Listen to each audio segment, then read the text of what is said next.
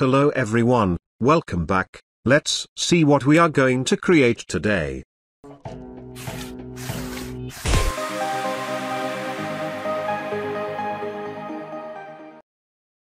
You can get free project file from the link in description. Only subscribed users can download this. As you can see, we just created a background, with a gradient, and a logo pre-composed. Now we add CC Lens effects, on logo layer. Go to Effects and Presets, type CC Lens. Apply it on layer. Now we change the value of convergence, to minus 200. Also change the size value to 0. Now we add keyframe of size, add new keyframe on 20 seconds, go forward approx 40 seconds, change value to 15. Press U to open keyframe setting, go forward approx 1 seconds 10 milliseconds, now change size value to 8, again go forward approx 1 seconds 20 milliseconds, Change value to 23. Again go forward approx 2 seconds, now change size value to 10, again go forward, change value to 50. Now our animation look like this.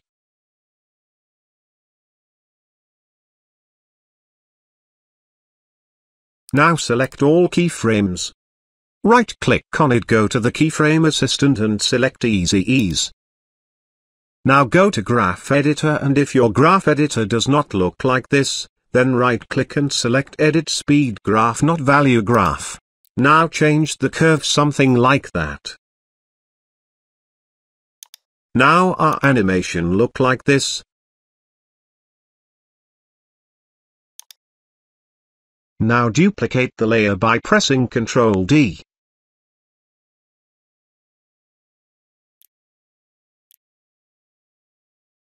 Now we cut the previous layer by pressing Alt brackets. We also adjust the layer. Select the layer, go to Effects and Presets, type CC Pixel Poly, apply the effect on layer. Now we change force value to 86, we also adjust the other setting.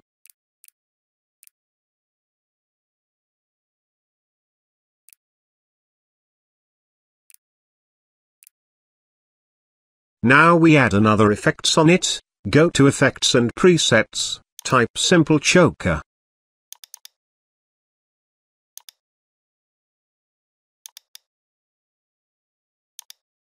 Now we add first choke matte keyframe, and change value to 12. Then go forward and, again change choke matte value to approx 42, please give me 5 likes on this video to inspire me to create more videos.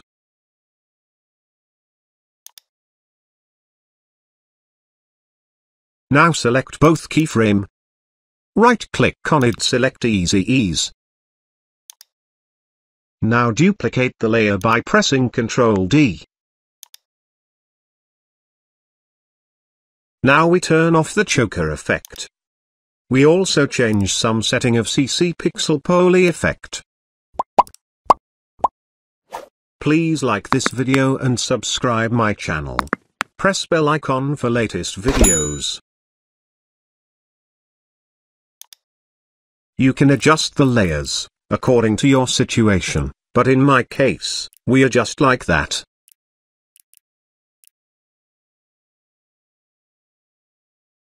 Now we add start time keyframe. Press U to open keyframe setting. Then go forward, and change the value something like that.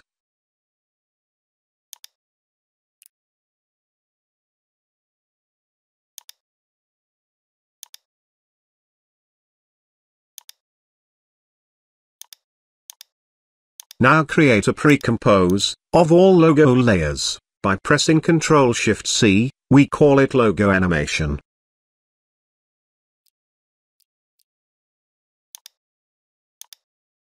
Now create a new composition, we call it reflection, make sure your background color is black.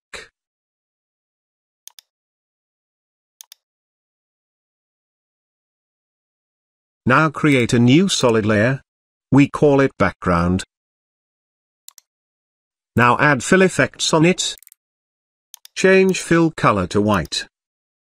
Again go to effects and presets, type Venetian blinds. Press U to open keyframes setting, and delete transition completion. Now we change transition value to 29%. Then we change direction to minus 55 degree. We also change width to 88.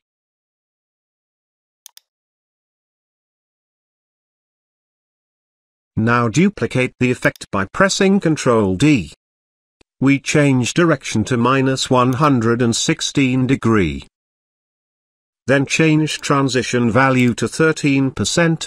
We also change width to 45. Now we insert the reflection composition. Now go to Effects and Presets, type Turbulent Displace Effects. We also change some setting of this effect. Now we add CC lens effects. Now we change convergence value to minus 200 and size value to 16. Now we add linear wipe effect. Press U, and delete the keyframes. Now we change some setting. Please give me 5 likes on this video to inspire me to create more videos.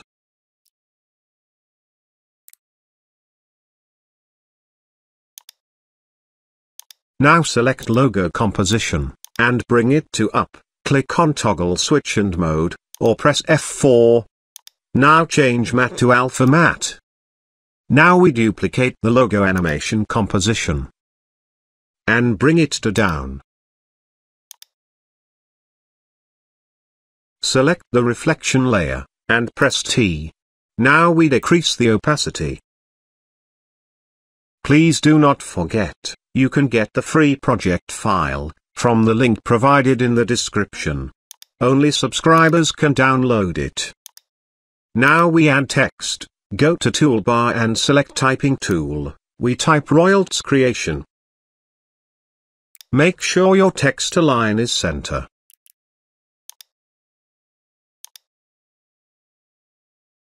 Bring your text layer to down, and turn on 3D layer.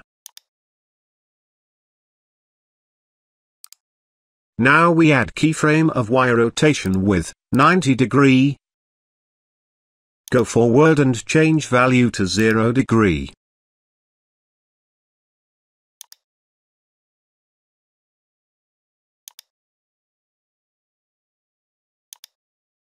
Now we add scale and opacity.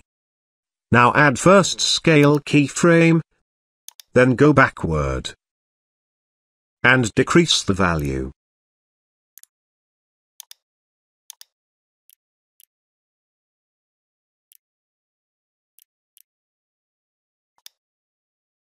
Now add first opacity keyframe, then go backward.